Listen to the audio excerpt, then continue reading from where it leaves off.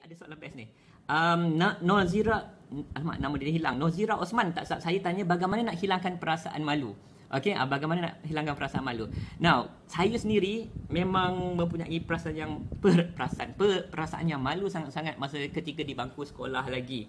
Uh, zaman tu kan masa tu saya nak bercakap depan kelas memang takkan punya, takkan bercakap punya. Saya jenis yang suka duduk kat belakang sekali and uh, senyap sangat-sangat jenis tak akan angkat tangan. Kalau tahu tahu jawapan cikgu tanya saya soalan kan saya tanya uh, angkat takkan angkat tangan punya sebab apa? Malu. Malu nak berdepan dengan orang. Zaman tu kalau cikgu uh, sepak muka saya baru saya bercakap. Nah zaman sekarang anda kena sepak muka saya baru saya berhenti bercakap. Nah macam mana berubah tu okey?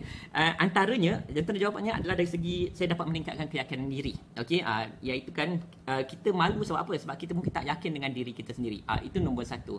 Malu juga kerana kita mungkin jarang lakukan Okey, jarang lakukan. Tapi apa yang penting kan, uh, sebelum uh, soalan tu, bagaimana nak hilangkan perasaan malu ni kan, berkait rapat dengan apa yang saya nak jawab sebentar lagi bagaimana nak meningkatkan keyakinan diri. Tapi sebelum tu anda kena faham bahawa malu tu perlu malu bertempat. Malu tu adalah amalan yang mulia, amalan yang baik. Kita diminta untuk malu. Okey, kita janganlah macam apa, jangan jadi orang yang show off, orang yang bongkak, sombong, tak bos semua tu kita tahu kan. Uh, tetapi kan kita memang kena ada perasaan malu, tapi malu bertempat. Contohnya kalau anda berniaga, macam mana anda nak malu, betul tak? Kalau anda malu, apa jadi tahu? Malu bila berniaga itulah keadaan yang paling best terjadi untuk siapa tahu? Untuk pesaing anda.